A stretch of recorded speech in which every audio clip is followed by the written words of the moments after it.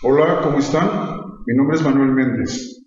Yo les voy a mostrar cómo se produce el sonido de los instrumentos de aliento metal, el corno francés, la trompeta, el trombón y la tuba, que son los que forman la sección de metales de una orquesta sinfónica.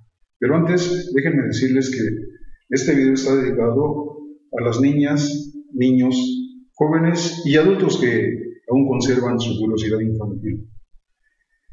Esta idea se origina a partir de los conciertos didácticos que llevamos a cabo en la orquesta, en donde se invita a los niños y jóvenes a subir al escenario a observar el trabajo de los músicos y cómo funciona la orquesta eh, desde sus entrañas. Pues bien, les voy a mostrar los pasos para poder reproducir el sonido en, esto, en este tipo de instrumentos.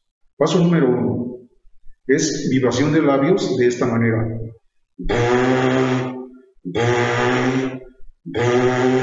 Paso número dos es producir la misma vibración de labios, pero a través de la boquilla, que es esta pieza de metal que luego incrustaremos en el trombón y lo, lo haremos ahí mismo. De esta manera es el siguiente paso número dos.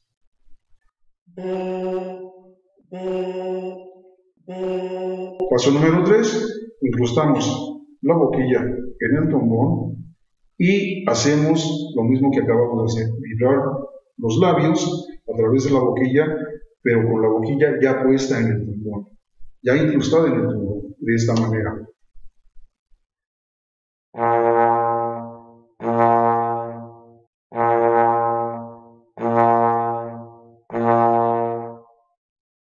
Bien, Ahora ya saben cómo se produce el sonido en esos instrumentos. Gracias y hasta la próxima.